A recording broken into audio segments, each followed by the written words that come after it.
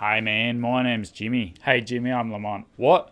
Lamont? Like the car race? Yeah, nah, Lamont with a T. Oh, righto.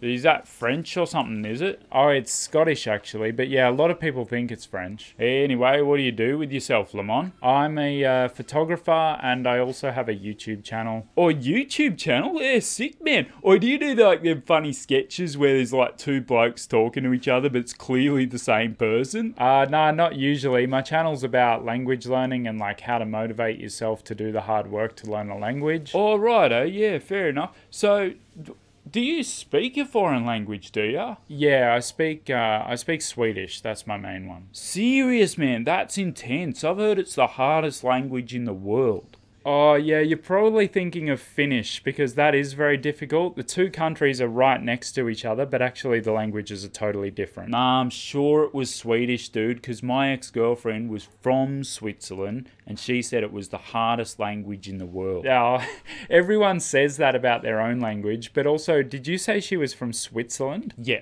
Switzerland. Okay, yeah. Well, that's not Swedish then anyway. A lot of people get that confused. Swedish is from Sweden. It's nothing to do with Switzerland she definitely spoke Swedish.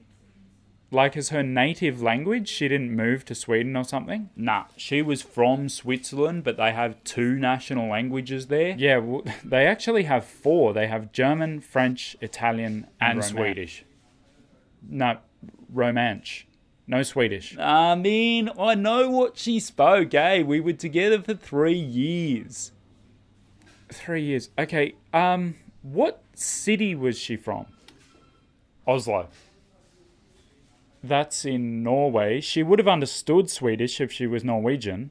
Well, nah, definitely not. She was Swiss. Okay, so to clarify, your ex girlfriend of three years was a Swiss person from Oslo who spoke Swedish as her native language. Nah, hang on, hang on. That doesn't sound right. It doesn't. Oh, wait, wait, wait. Kiev, where's that? Ukraine. Nah, definitely not then. She wasn't from Africa.